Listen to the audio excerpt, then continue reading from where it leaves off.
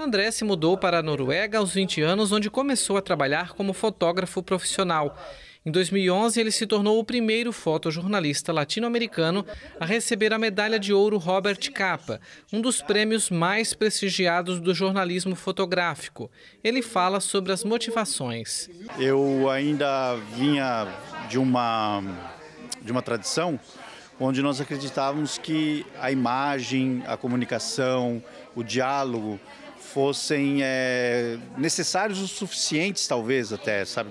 Éramos pretensiosos o suficiente é, para achar que o diálogo fosse suficiente para resolver os problemas.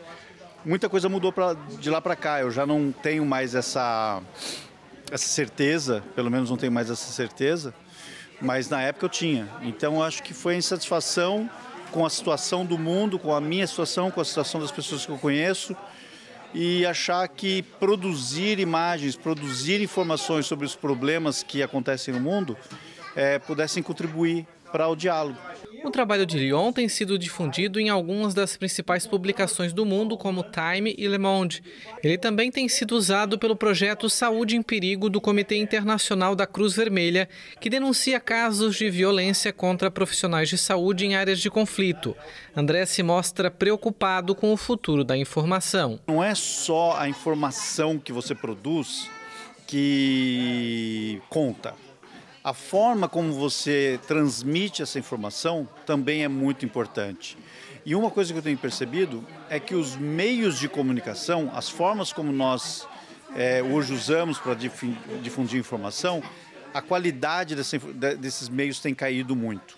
Tá? É, tem tudo se transformado em algo, por exemplo, muito próximo ao entretenimento, ao comércio, ao marketing, e as coisas elas se misturam muito. Então, por exemplo, as pessoas, nós não temos muito mais uns, os espaços definidos para onde nós, por exemplo, vamos aqui conversar sobre coisas sérias, vamos aqui praticar entretenimento, né, usufruir do entretenimento, enfim, as coisas se misturaram muito. Em 2010, Lyon denunciou um caso de fraude cometido pelo fotógrafo Marco Vernaschi. O colega havia forçado uma mãe ugandense a exumar o corpo do filho recém-falecido para uma foto. A denúncia de Lyon levou à retirada das fotos de Vernache de várias publicações. André disse preocupar com as percepções do público. Minha sensação é que hoje que a matéria-prima ela vem mal aproveitada, tá? Ela vem é, instrumentalizada. Então, às vezes, quando você produz uma, uma, uma foto é, sobre determinado problema, aquela fotografia hoje na internet é muito fácil de ser extraída da internet e ser reutilizada em maneiras como, com as quais você não, não havia pensado para ser utilizado. Lyon também é tema do documentário Você Não É um Soldado, dirigido por Maria Carolina Teles. O longa explora a motivação de Lyon para trabalhar em zonas de conflito, mesmo que isso o coloque em risco. O filme foi apresentado na Casa de Cultura de Garopaba, litoral catarinense, no último final de semana. Após a exibição, o profissional compartilhou as experiências com o público. Superou minha expectativa porque eu imaginei que a gente ia se ater mais ao assunto guerra mesmo.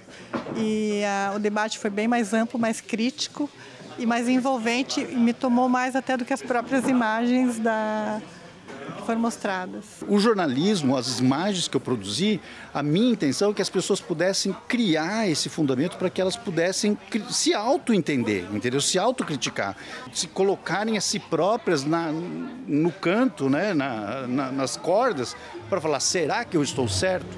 Mas isso hoje está se transformando cada vez menos interessante para o ser humano. Cada vez menos interessante. Então é, eu não, não vejo com muito, com muito otimismo o que vai acontecer. O encontro foi promovido pelo coletivo independente Céu Aberto, que busca promover debates sociais por meio do audiovisual. Aqui a gente está inserido num meio tão paradisíaco, numa cidade tão bonita, com tantas belezas naturais, que é muito fácil a gente esquecer dessa outra realidade dura e muito difícil que existe, que é a guerra, que muitas pessoas vivem e, e, não tem a possibilidade de esquecer. A gente tem o privilégio de não pensar nisso, mas tem pessoas que não têm. Então a gente precisa usar esse nosso privilégio para olhar para isso e conseguir construir construir uma visão de mundo diferente a partir disso. Então a gente está muito feliz de poder trazer o trabalho do André e esse filme da Maria Carolina Teles para cá. É uma exibição muito importante para a gente. André Lyon é um fotojornalista que dedica a vida a documentar a realidade dos conflitos ao redor do mundo.